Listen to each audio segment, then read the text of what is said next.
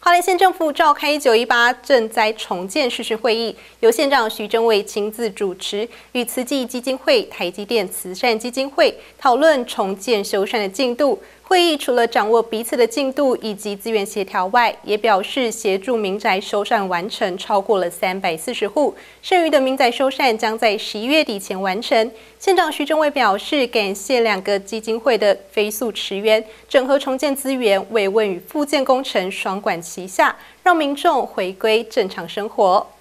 欢迎县政府召开零九一八赈灾重建实训会议，由县长徐正伟亲自主持，与慈济基金会、台积电慈善基金会讨论重建修缮的进度。会议除了彼此掌握进度以及资讯协调之外，也表示已经协助民宅修缮完工逾三百四十户，剩余修缮民宅部分将于十一月底完成。县长徐正表示，感谢慈济基金会与台积电慈善基金会飞速驰援。整合重建资源、慰问以及复建工程双管齐下，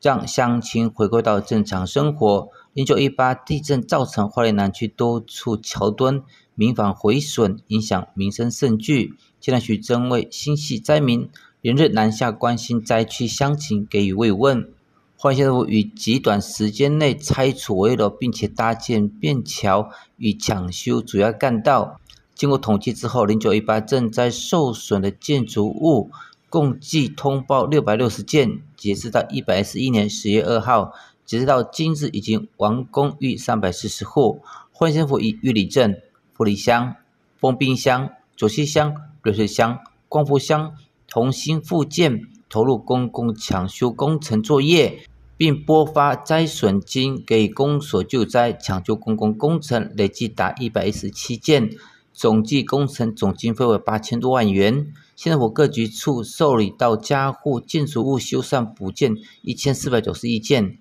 且机车财损案件八十九件，一般住家财损案件三千一百五十件，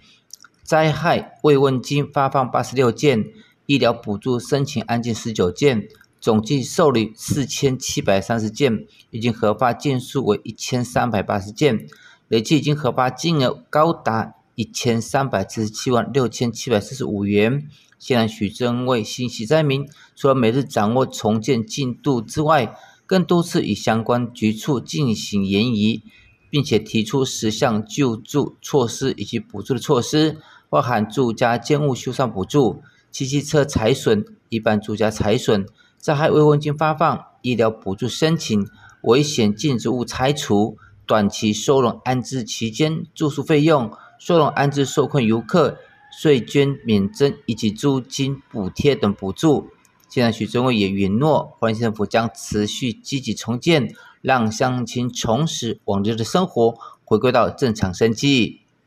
记者江黄收到。